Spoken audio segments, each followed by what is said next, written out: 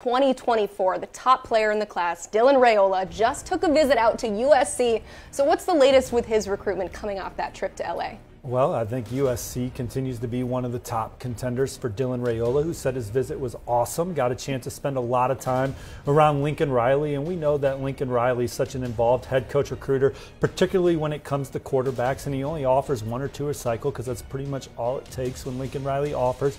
Generally, a young man jumps on it, and uh, Dylan Raiola is strongly considering USC because of his track record of developing Heisman Trophy winners and, and, and the first pick in the NFL draft, and then those guys guys going on to be successful in the NFL. But it was a big visit for his mom, too. You know, he had been to USC before, his dad had been to USC before, but getting an opportunity to get his mom on campus, she loved it. They got a chance to hang out in the Coliseum, spend time around the coaching staff. And so, mom uh, is also two thumbs up on USC right now. But there's some other major contenders in this recruitment for Dylan Raiola, Nebraska, of course, that's where his dad played. He was an All American, a Remington Award winner. His number is retired inside Memorial Stadium.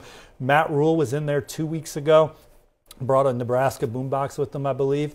And then uh, nine assistant coaches were inside uh, uh, Chandler High last Friday, uh, leaving a big impression on Dylan, who's been able to communicate with Matt Rhule and Coach Satterfield over the phone. He's going to get back to Nebraska for a recruiting visit in March. His uncle's obviously the offensive line coach, and, and they're excited about the trajectory of Nebraska's program. And his dad said, "Look, if Matt Rhule can turn Temple into a conference champion and can take Baylor from the gutter of yeah. college football and turn them into a conference champion.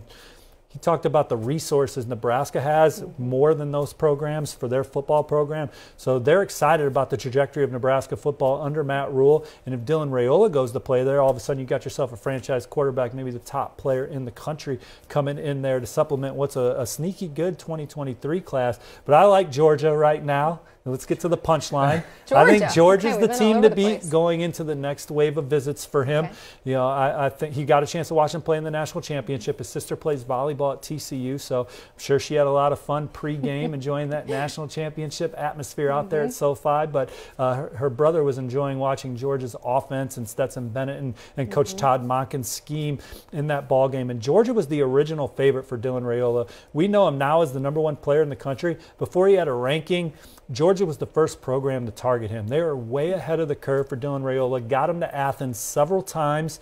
Uh, obviously, things happen in recruiting. They ebb and flow. Ohio State ultimately ended up becoming the favorite, landing his commitment, but now he's back on the market.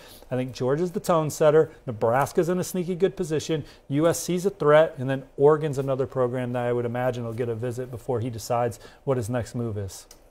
I want him at Nebraska. Nebraska might have the tenth coach. the tenth coach here they might have the fastest recruiting class in, in, all of 2023. But Steve, number one player to the number four player, David Stone, defensive lineman out of IMG Academy. I call this guy someone that can dent protection, get after the quarterback. Oklahoma has been the school he has talked about at length through the process. He's from Oklahoma, close to the Sooners, but he was just at Michigan State. Mel Tucker was just on the show. I think they've done an excellent job recruiting him.